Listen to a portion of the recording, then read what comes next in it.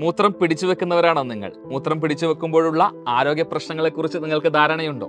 ഇതേക്കുറിച്ച് സംസാരിക്കാനാണ് ഇന്ന് ഞാൻ വന്നിട്ടുള്ളത്. എന്റെ പേര് അക്ഷയ്. ഞാൻ നിങ്ങളുടെ ബയോളജി ഫാക്കൽറ്റിയാണ് നമ്മളിൽ പലരും നമുക്കൊരു ഇൻട്രസ്റ്റിംഗ് ആയിട്ടുള്ള ഒരു ആക്ടിവിറ്റി ചെയ്തുകൊണ്ടിരിക്കുന്ന സമയത്ത് ഫോർ എക്സാമ്പിൾ പറയുകയാണെങ്കിൽ സിനിമ കണ്ടുകൊണ്ടിരിക്കുമ്പോൾ ഒരു ആക്ടിവിറ്റി ഒരു ഗെയിമിൽ ഏർപ്പെട്ടിരിക്കുമ്പോൾ പെട്ടെന്ന് നമുക്ക് മൂത്രമൊഴിക്കാനുള്ള പ്രവണത ഉണ്ടാകുമ്പോൾ മൂത്രമൊഴിക്കാൻ മുട്ടുന്ന സമയത്ത് നമുക്ക് പലപ്പോഴും നമ്മൾ ചെയ്തുകൊണ്ടിരിക്കുന്ന ആക്ടിവിറ്റി ആ സമയത്ത് മുഖ്യമായി പ്രധാനമായും തോന്നുകയും മൂത്രം പിടിച്ചു വെക്കുന്ന സാഹചര്യം നമ്മൾക്ക് എല്ലാവർക്കും നമ്മൾ ഒരിക്കലെങ്കിലും എക്സ്പീരിയൻസ് ചെയ്ത ഒരു കാര്യമായിരിക്കും.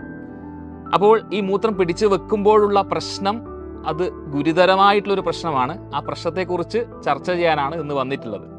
അപ്പോൾ ഇവിടെ നമ്മുടെ ശരീരത്തിലെ ഉപാപചയ പ്രവർത്തനങ്ങൾക്ക് അടിസ്ഥാനമായിട്ട് നമ്മുടെ ശരീരത്തിൽ ഒരുപാട് വിസർജ്യ വസ്തുക്കളൊക്കെ രൂപപ്പെടുന്നുണ്ട് എന്ന് നമുക്കറിയാം. നമ്മുടെ ശരീരത്തിൽ രൂപപ്പെടുന്ന ഇത്തരം വിസർജ്യ വസ്തുക്കളെ ഒഴിവാക്കേണ്ടത് അനിവാര്യമാണ്. രക്തത്തെ അരിച്ചുകൊണ്ട് വൃക്കയിൽ മൂത്രം രൂപീകരിക്കുന്ന വേളയിൽ ഈ മൂത്രം രൂപീകരിച്ചതിന് ശേഷം ഈ മൂത്രം മൂത്രസഞ്ചിയിലേക്ക് എത്തുന്നു. നമുക്കറിയാം മനുഷ്യ ശരീരത്തിൽ ഒരുപാട് ഉപാപചയ പ്രവർത്തനങ്ങൾ നടക്കുന്നുണ്ട്.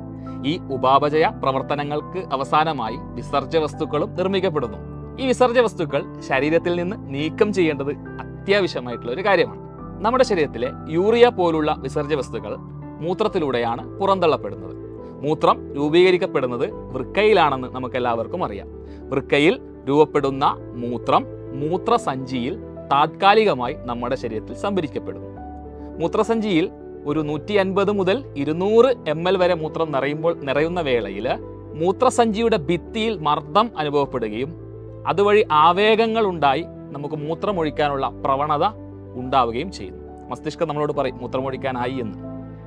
അപ്പോൾ നമ്മൾ മൂത്രം പിടിച്ചു വെക്കുകയാണ് ചെയ്യുന്നതെങ്കിൽ വീണ്ടും മൂത്രസഞ്ചിയിൽ മൂത്രം വന്ന് നിറയാനും ഒരു നാനൂറ് എം എൽ മുതൽ അഞ്ഞൂറ് എം എൽ വരെ മൂത്രം മൂത്രസഞ്ചിയിൽ വന്നു കഴിഞ്ഞാൽ വീണ്ടും അവിടുത്തെ മർദ്ദം കൂടുന്ന സാഹചര്യം ഉണ്ടാവുകയും ചെയ്യും. പിന്നെയും നമ്മൾ മൂത്രം പിടിച്ചു വെക്കുകയാണെന്ന് വിചാരിക്കാം ഒരു ആയിരം എം എൽ മൂത്രം മൂത്രസഞ്ചിയിൽ വന്ന് നിറയുമ്പോൾ മൂത്രസഞ്ചിയുടെ ഭിത്തി ഇലാസ്റ്റികത സ്വഭാവം ഉള്ളത് കൊണ്ട് തന്നെ ഇത് കൂടുതലായി വികസിക്കാനുള്ള ടെൻഡൻസി കാണിക്കും. എന്നാൽ ഇതിന്റെ കപ്പാസിറ്റി ആയിരം എം എല്ലിന് മുകളിലേക്ക് മൂത്രം വന്ന് നിറയുകയാണെങ്കിൽ മൂത്രസഞ്ചി പൊട്ടാനുള്ള ഒരു ചാൻസും അവിടെ ഉണ്ട്. റയറായിട്ട് നടക്കുന്ന ഒരു കാര്യമാണ് ഈ മൂത്രസഞ്ചി പൊട്ടിപ്പോകുന്ന ഒരു കാര്യം. അങ്ങനെ മൂത്രസഞ്ചി പൊട്ടുകയാണെങ്കിൽ അവിടെ മെഡിക്കൽ അറ്റൻഷൻ സർജറി ആവശ്യമാണ്.